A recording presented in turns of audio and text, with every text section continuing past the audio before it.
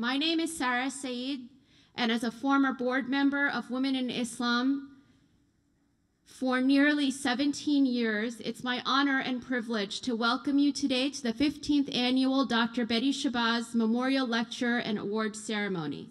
Women in Islam Incorporated is a platform for women to speak on human rights and social justice issues impacting our communities.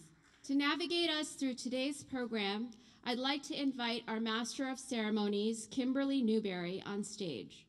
Betty Shabazz was a cartographer, a way shower, and a measurer of monsters who aptly and elegantly guided the captain of her ship and its six treasured, treasured passengers past the sea monsters and fierce toothed animals across the rambunctious seas of the world.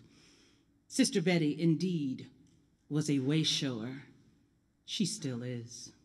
Ladies and gentlemen, here to tell her story, Mahogany Faye.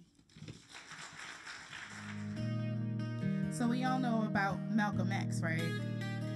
But the untold story of Betty Shabazz is one of survival.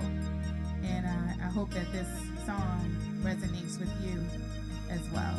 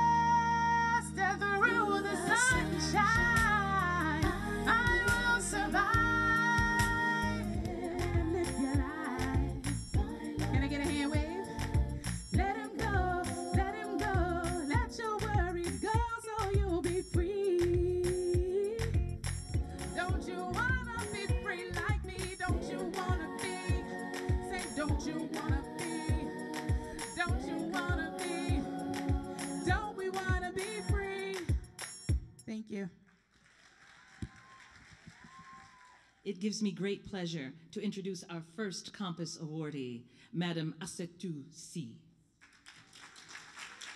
I am so honored to receive such as, as prestigious Compass Award.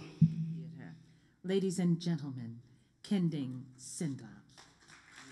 We're here to bring you our story. We're here to bring you the story of our ancestors, and we'll bring, we're gonna bring you the movement of our resistance to art.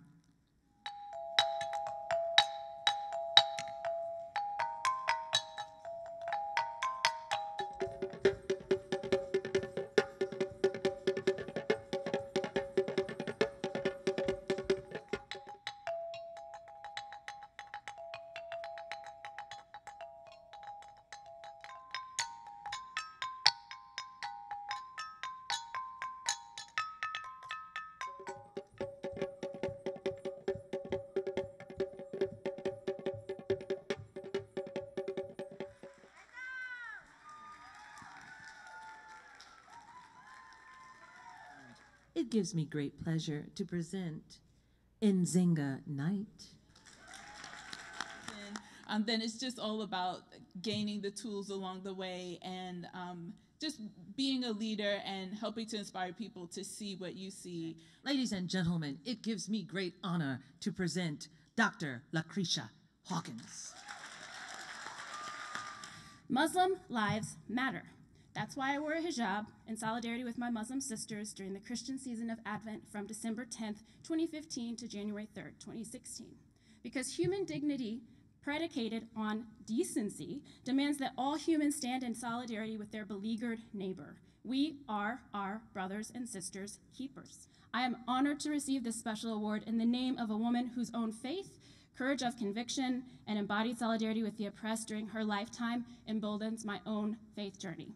Peace. Now it gives me great pleasure to present the founder of Women in Islam, Sister Aisha Al Adawiya. And I'd like to uh, thank you for your love and your support. and your participation. Bobby, thank you for coming, and we'll see you next year.